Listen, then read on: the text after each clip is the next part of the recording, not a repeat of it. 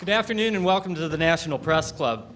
My name is Jerry Zaremski, and I'm president of the Press Club and Washington Bureau Chief for the Buffalo News. I'd like to welcome club members and their guests who are here with us today, as well as our television audience watching on C SPAN. We're looking forward to today's speech, and afterwards, I'll ask as many questions as time permits.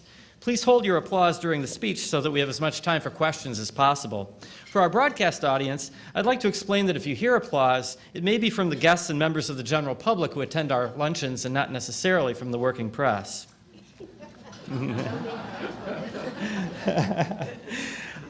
I'd now like to introduce our head table guests and ask them to stand briefly when their names are called. From your right, Marilyn Geewax, economics correspondent for Cox Newspapers.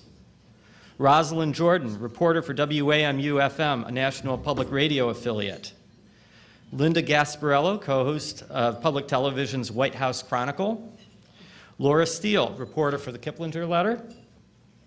Bruce Wilkinson, director of RAPIDS, which stands for Reaching HIV AIDS Affected People with Integrated Development and Support. Sheila Johnson, Chief Executive Officer of Salamander Hospitality and President and Managing Partner of the Washington Mystics WNBA team and a new member of the National Press Club. Ambassador Mark R. Dybul, U.S. Global AIDS Coordinator. Skipping over the podium, Angela Greiling Keene of Bloomberg News, the chair of the National Press Club Speakers Committee. Speak, skipping over our speaker for just one second, Katherine Skiba, Washington correspondent for the Milwaukee Journal Sentinel, and the Speakers Committee member who organized today's lunch. Ambassador uh, John Danilovich, CEO of the Millennium Challenge Corporation. Richard S. Dunham, Washington Bureau Chief for the Houston Chronicle and a former National Press Club president. Vicki Walton James, Washington Senior Editor for Tribune Publishing. Kathy Kiley, Washington correspondent for USA Today. And that is it.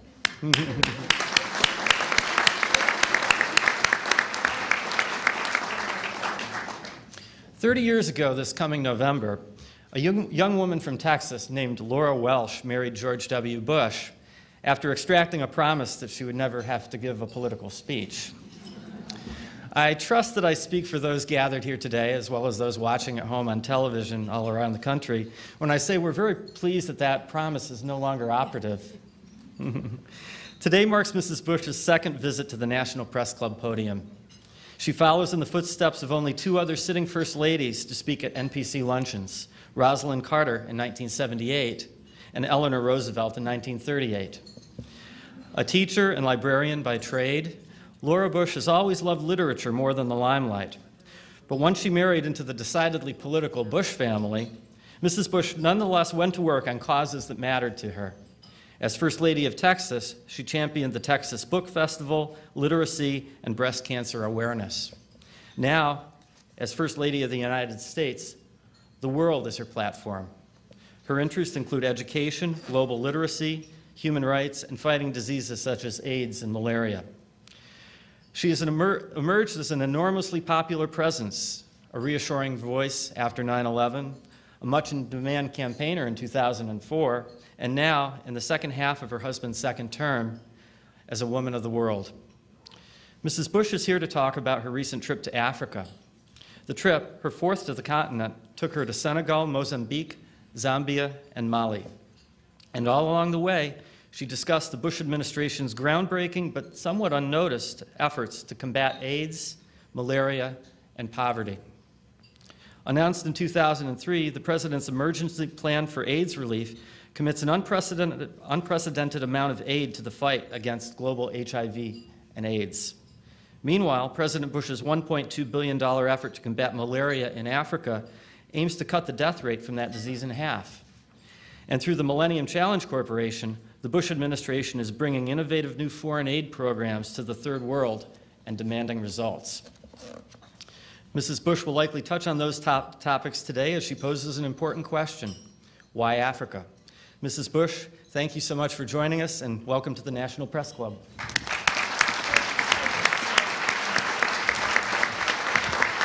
Thank you very much, Jerry. Thank you all. Thank you, Jerry. Thanks, everybody. The uh, promise that I would never have to give a political speech was actually our prenup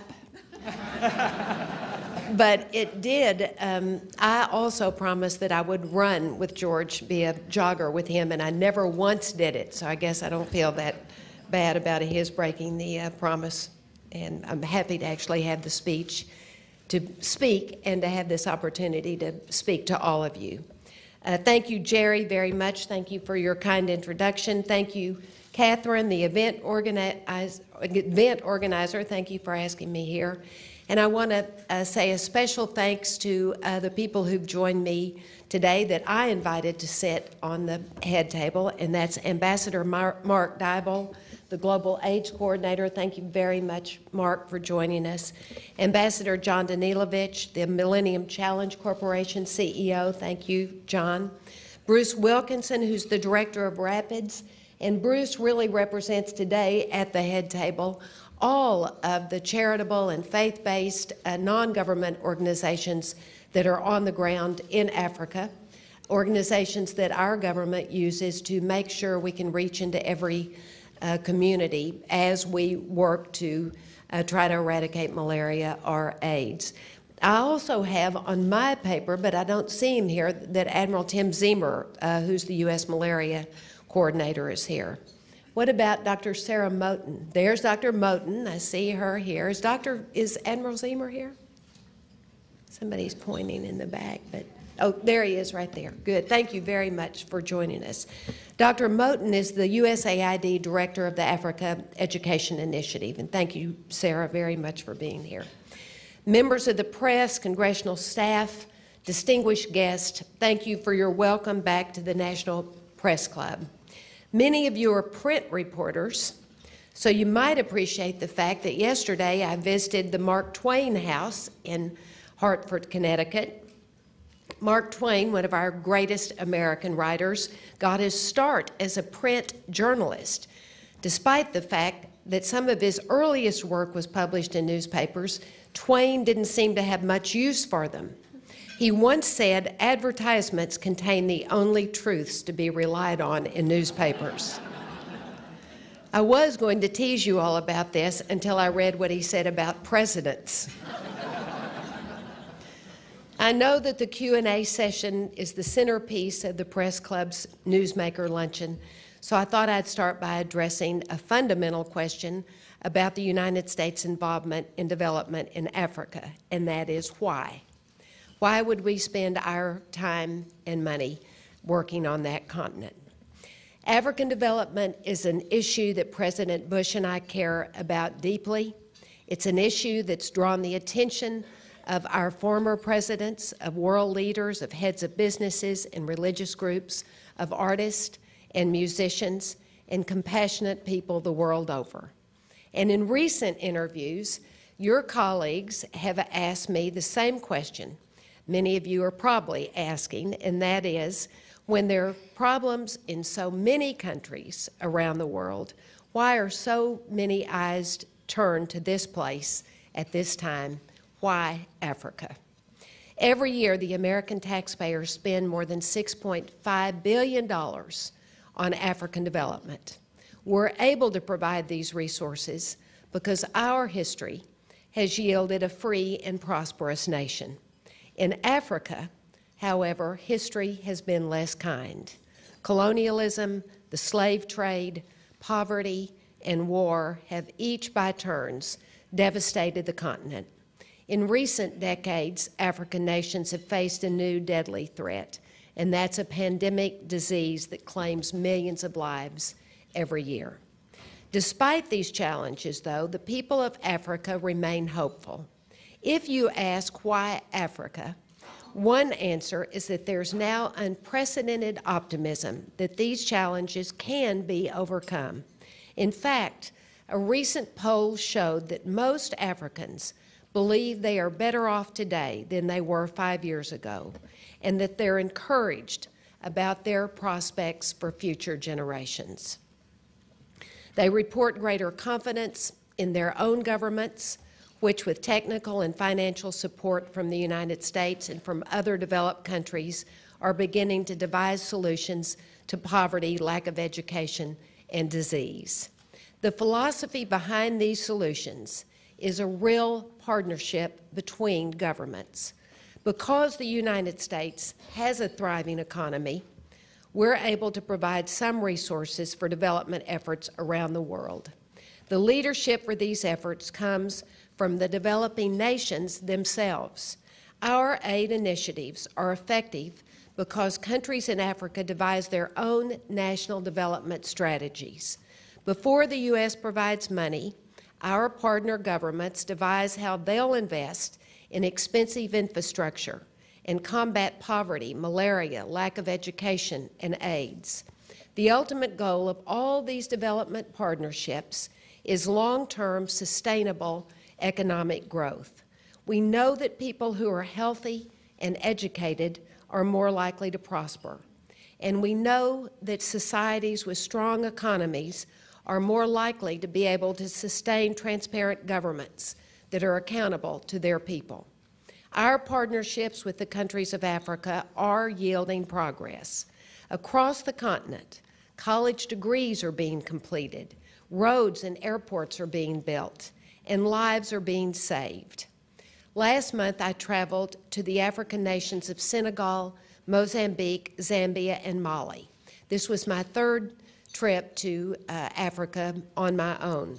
I visited schools and villages, clinics and hospitals, microcredit programs, and community centers supported by the American people, and I saw many signs of this progress. I visited programs that are helping the people of these nations build educated, prosperous, and just societies. If you ask why Africa, one answer is that it's in our country's interest to stand with governments that bring stability and opportunity to their people. We've learned that it's in our urgent interest to invest in successful governments now so that we don't have to pay the price for failed governments down the road. The last time I addressed the National Press Club was in November 2001 to speak about the events of September 11th. The attacks of that day reminded us that misery and oppression on another continent can manifest themselves on the next block, a lesson that has been retaught uh, in cities from London to Madrid to Jakarta. We've learned that nations that value human freedom are more likely to be our partners in maintaining security. And we know that nations that value educational and economic freedom for all their citizens are more likely to be our partners in fostering prosperity. On my trip, I visited programs that invest in educational opportunities for African children. I met with students who benefit from our government's African Education Initiative.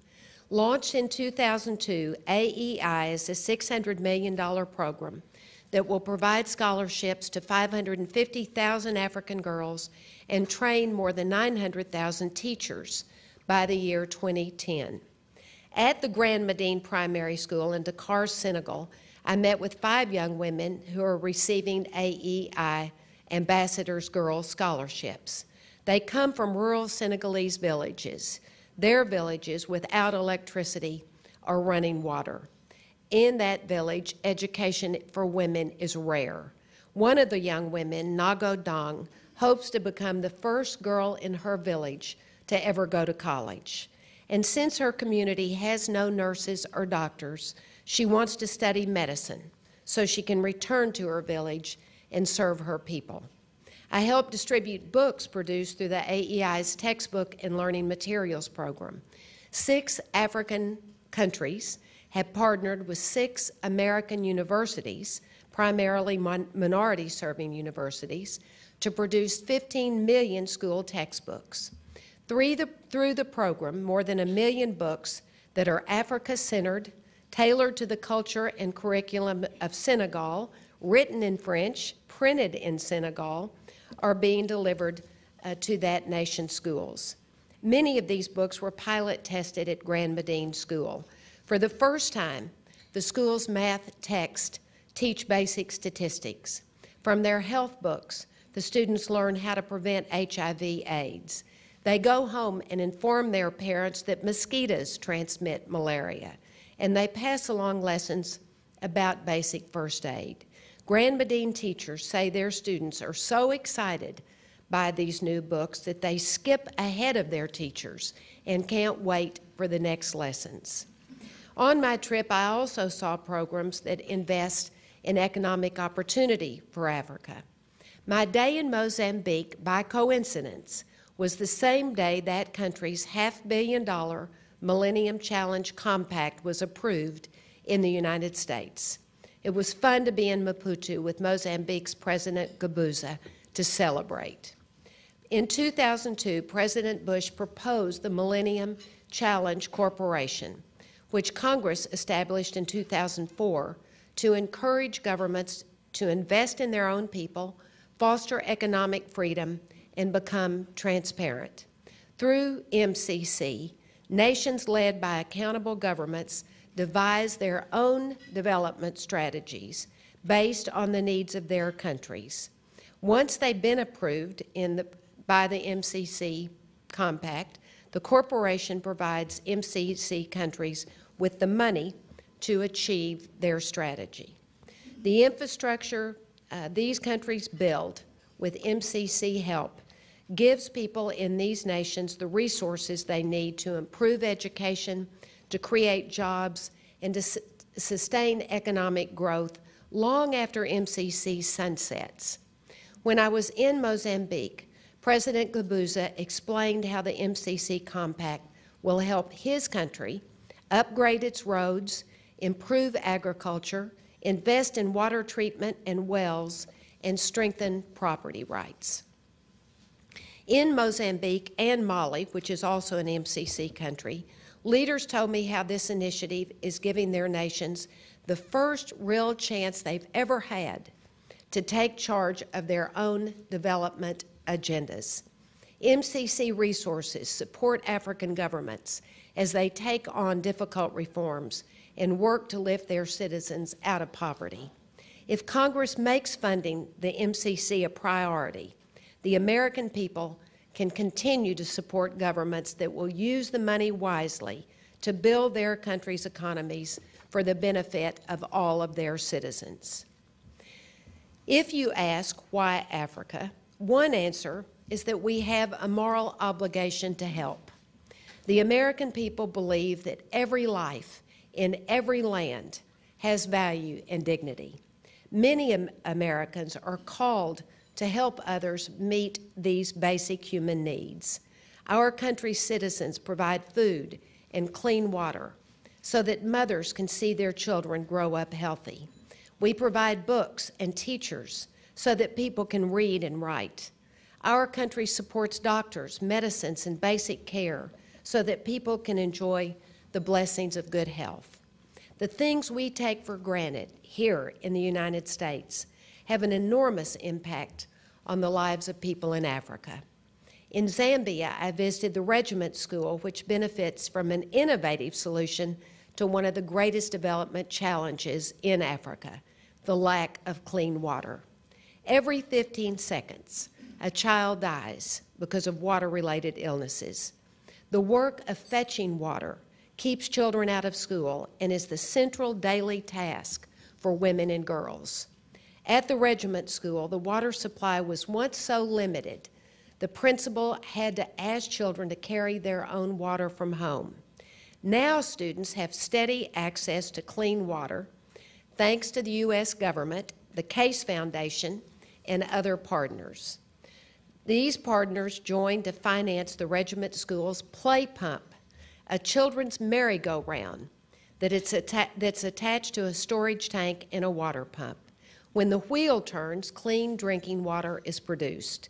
The pump is fueled by a limitless source of energy, children at play.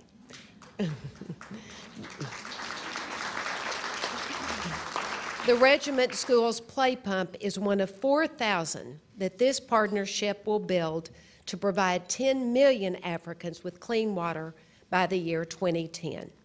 In Mozambique, very simple technologies protect people from the devastating epidemic of malaria.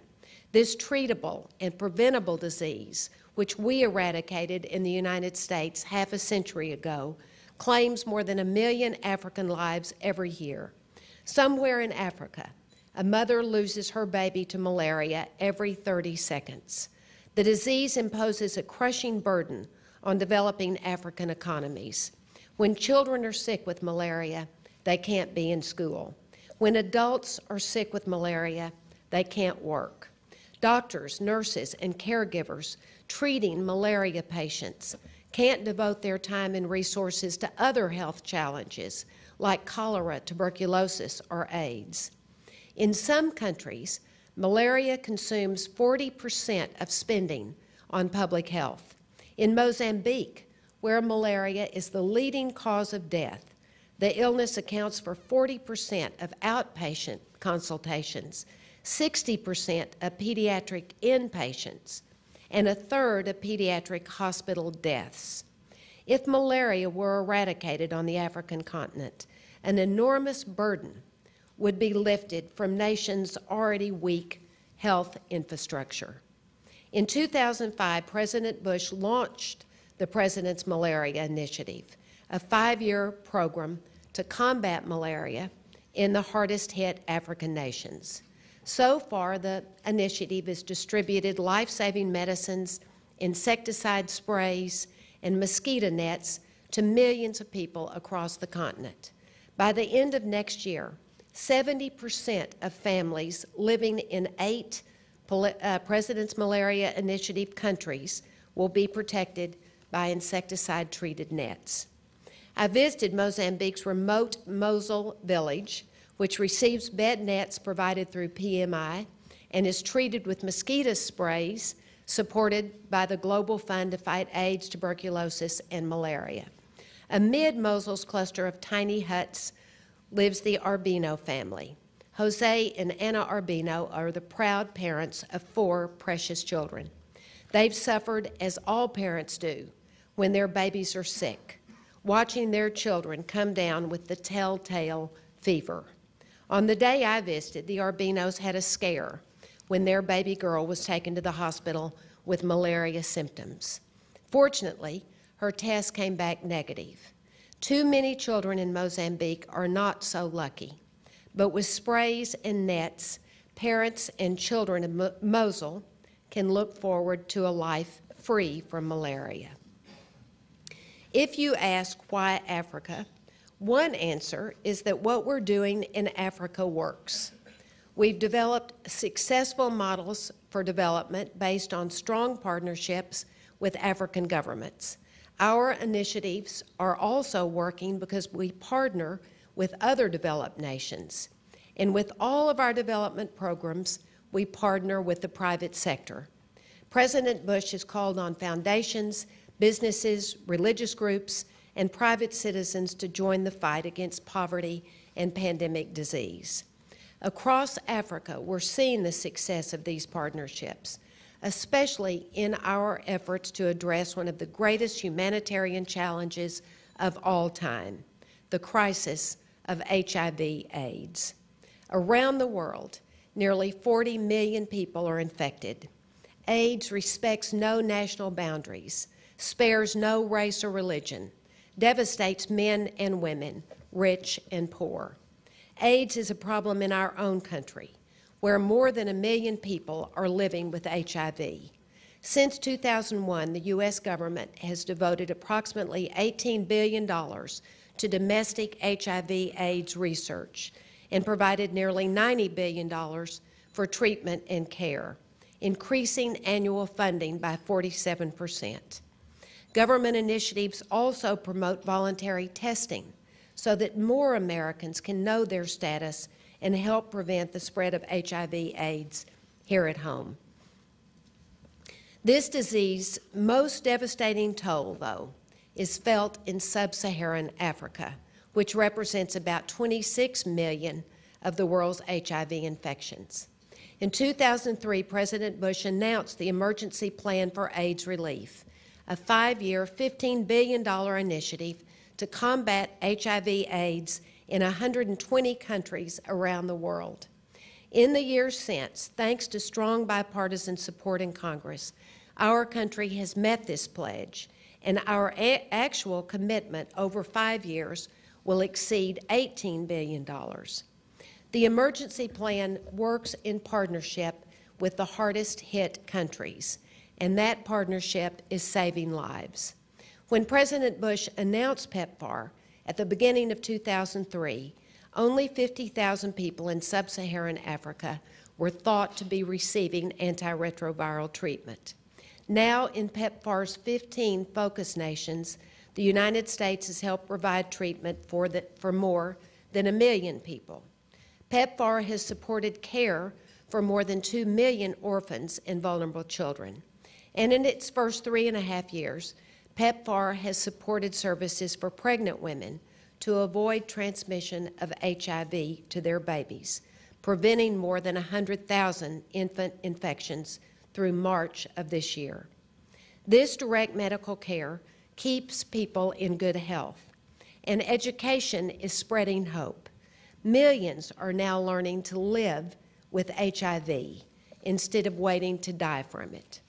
This is the beginning of a long journey.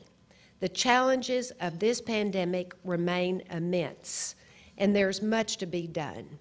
We must focus on HIV prevention, which is essential to winning the fight against AIDS. Just last year, there were more than 4 million new HIV infections. With each infection we prevent, we keep one person alive and healthy, but we also protect their partner and we keep their children from being orphaned. PEPFAR supports the most comprehensive evidence based prevention program in the world. Our interventions are tailored to each focus nation, targeting sexual behavior, mother to child transmission, and unsafe blood and medical injections. Depending on the needs of each country, through PEPFAR, the U.S. has supported nearly 19 million counseling and testing sessions. When people know their status, they can protect themselves and their loved ones from HIV. In developing prevention methods, the United States is following the lead of our African partners. We support the ABC model of AIDS prevention, which was developed by Africans and which has led to dramatic declines in HIV infection rates in young men and women. People are changing their behavior, and all three are the essential components abstinence, being faithful, and the correct and consistent use of cond- condoms. Promising trends are emerging in countries that have embraced ABC, including Uganda, Botswana, Ethiopia, Tanzania, and Zambia. In Kenya, HIV prevalence has dropped from a peak of about 10% in the mid 1990s to just above 6% today. Data suggests that Kenyan men are having fewer sexual partners. Women are delaying their sexual debut, and people who were once sexually active are now abstaining. Women who do engage in risky behavior report an increased use of condoms. At the regiment school, 300 students are AIDS orphans, so the disease is personal and real to this community. Painted on the school's perimeter wall and classroom buildings are messages promoting abstinence and HIV prevention. PEPFAR supports Regim- Regiment School's Anti AIDS Drama Club, which uses dances, skits, and songs to open dialogue and reduce stigma. Ambassador Dybul and I watched one of their performances. After the skit, the club performed a song with powerful, determined lyrics. They sang, We're fighters against HIV and AIDS. Keep the promise against HIV and AIDS. President Bush is determined to keep our country's promise against HIV and AIDS. In May, he announced that he'll work with Congress to build on the emergency plan's early success and to reauthorize the program for another five years. He's proposed doubling the American people's initial commitment to $30 billion. This increase would bring the overall U.S. pledge to a remarkable total of more than $48 billion over 18 years, the largest commit over 10 years, that is, the largest commitment by any nation to fight a disease in human history. I'd like to urge members of Congress to support, and in Washington, of course, that means fund, this important initiative. The world is already showing its support. This June, after President Bush proposed doubling PEPFAR, the G8 nations responded by pledging $60 billion to fight tuberculosis, malaria, and HIV/AIDS. Throughout my trip, I met people who benefit from our country's promise against HIV and AIDS. In Mozambique, at the PEPFAR supported Maputo Pediatric Hospital, I met with children participating in the Positive Art Project. This program gives children a creative outlet for expression while they or their moms are being treated for HIV. While the kids paint, their mothers enjoy positive tea time. This is a terrific support group because even though about 16% of Mozambique's population is living with HIV, the disease still carries a huge stigma. Positive Tea brings the HIV positive mothers together to support one another and to listen to one another's concerns. One of the HIV positive mothers, Julia, shared the story of her HIV treatment and her two year old daughter's chemotherapy. It was when Julia's little girl first became sick with blood cancer that Julia had her tested for HIV, and her daughter's result came back positive. But with support from PEPFAR, both Julia and her baby girl are living positively. I was especially touched by the programs I saw in Zambia. More than 16% of the country's adult population has HIV AIDS, and the disease has made orphans out of more than 700,000 Zambian children. In Lusaka, I visited Chreso Ministries, which is run by the Gospel Outreach Fellowship. All of the Chreso's clinics' antiretrovirals are provided by PEPFAR. In Chreso's workshop, worship hall, I met with patients and care providers. One woman, Patricia, told us about the pain of stigma, about losing her job when people found out she was positive. Another woman explained out of, out of her family of 29, only 14 are still alive, and 12 of them are HIV positive. One man, Jonathan, a married father of four, explained that he was so weak from, his, from AIDS that his entire family thought he was going to die. But with treatment he receives at Chreso, he said, I'm healthy, my children are in school, and my family is smiling. Another moving visit was, with, was to the Matuta Center. Matuta's director established the center in honor of her husband, who died from AIDS. At Matuta, the Rapids Consortium, and Bruce is here uh, from Rapids, a group of religious institutions led by World Vision, brings the personal healing touch of faith to the campaign against HIV/AIDS. With support from PEPFAR, a corps of dedicated caregivers fan out into the rural community on bicycle and foot. They go door to door with care kits and antiretroviral drugs, and now they're also taking insecticide mosquito uh, nets uh, with them. By encouraging citizens to be tested for HIV and to seek treatment, the caregivers bring ailing people back to life. Beneath the trees of Matuta's citrus orchard, caregivers and patients told me of their personal struggles with HIV. Tears streamed down the faces of two young women, Sarah and Mwelwa, as they shared their stories of abuse and rape. There was pain in the retelling, but there was also hope. The confidence to speak out is a sign of healing. With help from Matuta, both girls plan to finish their education. Mwelwa is an AIDS orphan, and she hopes to become a pediatrician to help other orphans lead healthier and more hopeful lives. The youngest member of the group was a 10 year old boy named Raphael, who was orphaned at the age of three and is HIV positive. Raphael was near death when a friend of Raphael's late father and a Matuta caregiver, Sylvester, found him. Sylvester made sure Raphael got on antiretroviral treatment and today keeps up his regimen. Raphael is now a regular visitor to Sylvester's home. They pray together, and the little boy and the grandfatherly volunteer have become best friends. Raphael is first in his sixth grade class, and he plans to attend the University of Zambia. Thanks to Matuta and Sylvester, this HIV patient, who no one would have expected to survive, now expects a long life. A favorite in the Matuta community is Esnart Banda. Three years ago, Esnart didn't know she had HIV, but she knew she was sick. She suffered recurring bouts of tuberculosis, and her body was covered with sores.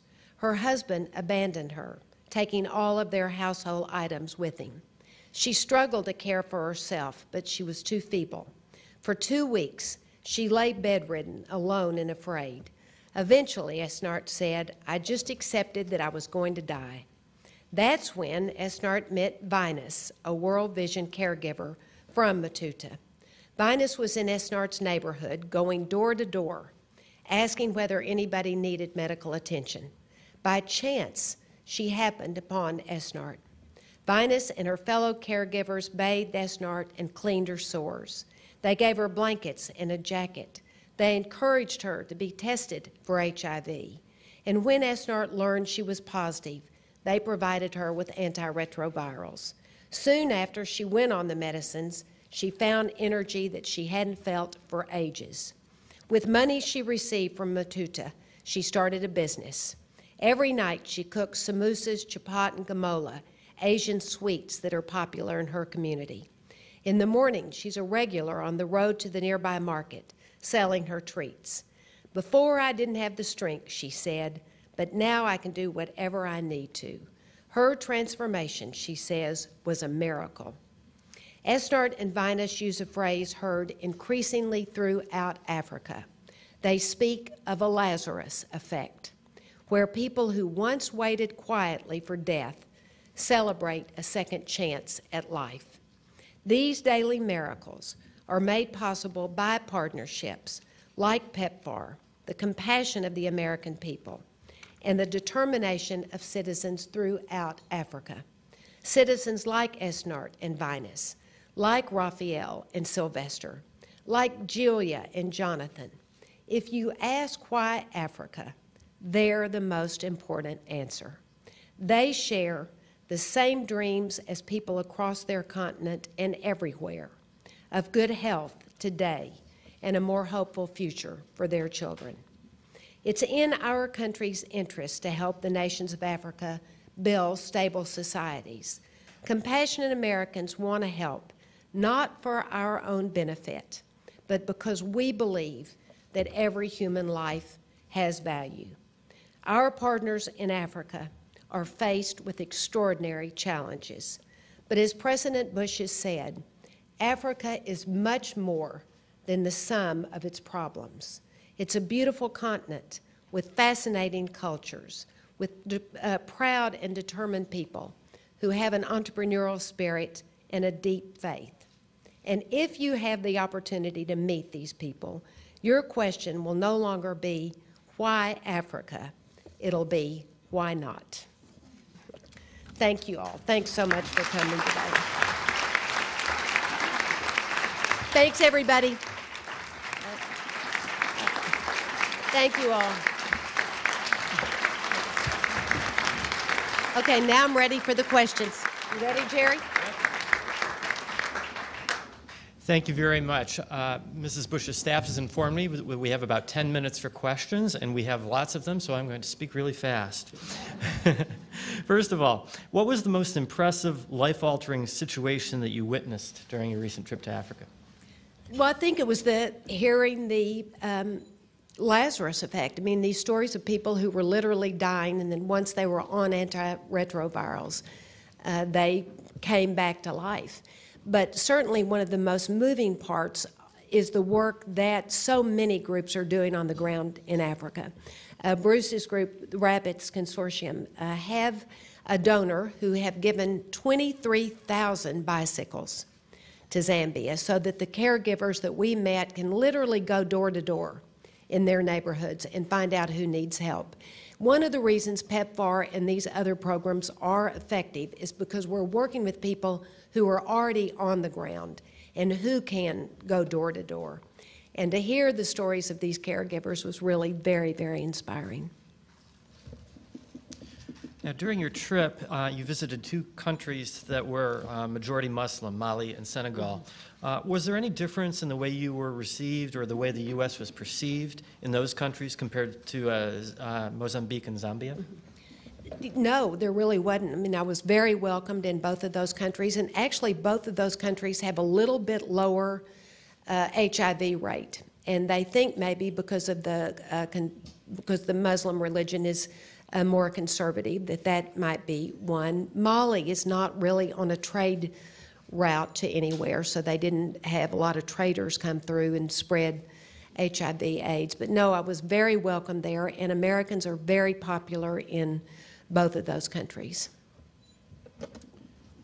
Um, one of the Bush administration's main efforts in Africa has been the Millennium Challenge Corporation, which is kind of facing a challenge itself in mm-hmm. Congress right now uh, with a potential funding cut from the $3 billion that your husband rec- or three, three billion that your husband recommended down to 1.2 billion. How worried are you about that, and how would that affect your efforts in Africa if that cut were to go forward? Well, Millennium Challenge is not just Africa. There are also Central American and Asian countries, and countries like uh, the Ukraine and Georgia, um, Central European countries that also. Uh, either have been approved as Millennium Challenge countries or are on the list and could be approved. Uh, we need at least, I think, a million eight to a billion eight, excuse me, to uh, fulfill our obligations to the countries we've already approved, and then to approve these countries that are working uh, very hard to devise their strategies. Uh, it's not an easy process, and, and uh, Ambassador Danilovich is here, and he can tell you more about it. But I think it's a very, very important way to build the infrastructure that these countries' governments are never going to be able to afford on their own. They really need this sort of development. And the thing about we take all of our infrastructure so for granted. Uh, we don't really ever think what a legacy we have from every generation before us of uh, all the, not just the infrastructure, the physical infrastructure, which is so expensive, but also the infrastructure of law and um, uh, civil society that we have that we take for granted. But it's very important, and I urge the Congress to uh, at least um, um, appropriate a, mi- a billion aid, if not more, for this. I think it's one of our most effective ways we've ever given aid, foreign aid, in our history. Did you want to say anything? Thank you very much. Um, if you could come to the podium, please. Thank you very much for that endorsement, Mrs. Bush. I very much appreciate it. The MCC has been in existence for only three years, and in that short period of time has already achieved tremendous results, not only in terms of project implementation, but in terms of incentivizing countries, as Mrs. Bush has said, to have a good government, to have good governments and it's done a tremendous amount to increase stability and security in those parts of the world as well as reduce poverty. It's very important that we have that 1.8 billion for FY08 to continue this initiative. It's one of the most important initiatives and effective instruments that the US government has for development assistance in the world today. Thank you. Thanks, Ambassador. Thank uh, China is also very active uh, in Africa, and frankly, China may not have the same kind of human rights concerns that we have as a nation. And I was wondering if that, should, that would be a concern to the U.S. government. Well, you're right. China is very active, and as you know, China um, makes compacts with countries. Uh, they use the or take the resources they want, oil and gas, or whatever other resources some countries have. And because those countries are so poor, they make those agreements. Uh, China offers to provide certain things for them, a lot of times infrastructure building. But China, because they have so much labor, bring their own labor. In other words, they don't use, they don't train people who live in Africa to in construction or in whatever else they're working on, mining, uh, whatever else. Um, all those people who need jobs as well and need training so they can uh, can um, support their own families and have a, job for the rest of their lives. Uh, instead, they bring their own labor. When I went to Liberia to Ellen Johnson Sirleaf's inauguration, I was riding with our ambassador there, and he pointed out a stadium, a soccer stadium that China had built in Liberia. And, and I said, Oh, great. Then they must have really trained a lot of Liberians in construction. And he said, No, no Liberians are, are employed because they bring their own labor. And, and I think that's one of the really important things about the MCC is these are jobs for people that live there to have and ways for people that live there to, uh, to get skills so they can continue to work for the rest of their life. We have several questions about uh, AIDS in Africa. Um, is there anything in addition to funding that can change the course of the AIDS epidemic in Africa? Uh, there are several things. I think if, the, if stigma can be reduced so that people will get tested, so that everyone will get tested. Uh, I just recently went, you may not know, but Howard University Hospital is serving as a site for the CDC, the, the Center for Disease Control, would like for all Americans to make an AIDS test just part of your regular, um, all the battery of tests that you have whenever you have a physical because they think that there are around 250,000 Americans who are HIV positive that don't know it. And Dr. Tony Fauci was with me at Howard University Hospital, where the hospital is offering a free AIDS test, and it's just a mouth swab now. This is in the U.S. I'm not sure that it's so simple yet across Africa. But um, they're offering it to every single person that comes to the hospital, whether you come into the emergency room uh, with a broken arm or you're coming for a facelift. They offer um, the free AIDS test, and nearly everyone takes it. And it's very fast. You just wait for 15 minutes, and then they're set up with counseling, and they do find just sort of what they thought. Maybe I'm not positive about this, but some very small percentage of are HIV positive of the people that come in to the hospital. Um, Dr. Fauci told me, he said, you know, there's sort of this myth that once people find out they're HIV positive, they quit protecting their partner. They think, well, I'm infected, I don't care if I infect other people. But he said that is absolutely not true. That people who know they are HIV positive really try to protect their partners and change their behavior, in fact, to protect their partners. So I think if we could have very extensive testing, if we had a cheap and a very effective way to test everywhere and could reduce the stigma of finding out you're positive, that that would go a long way toward helping us slowly eradicate AIDS. We also have a few questions about your role as First Lady, uh, including this one. Um, what have you learned about the American people? How have your perceptions of the American people changed in your years in the White House? Well, I already knew this about the American people, but what I find uh, it's reinforced every single day, no matter where I go, but certainly when I was in Africa with groups like Bruce's Rapids group or every other group that I was there with that, that's supported in some way by Americans, is how generous and compassionate Americans are and how we all take, feel a real responsibility uh, to do things in the outside world, to do things outside of our own lives, uh, to volunteer, to uh, be concerned about um, other people, to give money uh, to other people. But it really is, I think, a trait that's particularly American. And that is this responsibility that all Americans seem to feel to uh, reach out of their own lives and their own small family lives to try to help other people at home and everywhere around the world. Um, we're almost out of time, but we have time for one last question, and that is this. Um, early on, uh, you said that the job of First Lady really had no job description. Uh, would you venture to give us one now after all these years? Well, I still believe, I mean, obviously the First Lady's not elected. There's no written, uh, you know, organization chart that shows what her job is, or the first gentleman, if there's going to be one. Um, but on the other hand, what I think, and this is after studying first ladies and knowing some of them very well, like my own mother in law, or one that I admired very much, a fellow Texan, Lady Bird Johnson, is that we benefit, our country benefits by whatever our First Lady's interests are.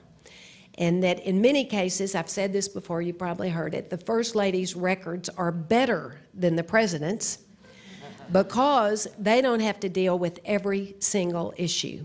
And they have the opportunity to focus on just a few uh, things. And in most cases, throughout our history, it's been what they were already interested in, what their field already was, what their expertise already was. And uh, they've been able to magnify that across our country and in recent years because our world has gotten so small across the world. And I think that's uh, what First Ladies do. And I really believe also that the American people want uh, the First Ladies to do whatever they want to, that they don't think the First Ladies have to do something specific. And um, even now, I don't think they even think you have to be a good hostess, which uh, earlier maybe in, um, in our history that was one of the main roles. But I mean, of course, that's certainly also a role, and I know the Americans are proud when, for instance, Queen Elizabeth uh, came to the White House, or uh, when we host all the other uh, world leaders or heads of state in, in um, here in the United States at the word at the White House. Is Thank that you it? very much. Okay, thank you all very, very much. I appreciate it a lot. Thank you. Thanks, everybody.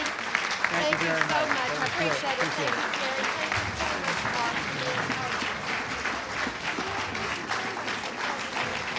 so. Thank you very much. Just a few last announcements. First of all, a few words about our upcoming speakers. On Friday, uh, Agriculture Secretary Mike Johanns will be here to talk about the Farm Bill. On August 1st, Senator Joe Biden of Delaware will be here to talk about uh, his book and to discuss something called Promises to Keep. And on August 7th, Newt Gingrich, former Speaker of the House, will be with us. I'd like to thank you for coming today. I'd also like to thank National Press Club staff members Melinda Cook, Joanne Booz, and Howard Rothman for organizing today's lunch. Also, thanks to the NPC Library for its research. The video archive of today's luncheon is provided by the National Press Club Broadcast Information uh, Operations Center. Press Club members can also access free transcripts of our luncheons at our website, www.press.org. Non-members may purchase transcripts, audio, and videotapes by calling 1-888-343-1940. Thank you. We're adjourned. Oh, sure.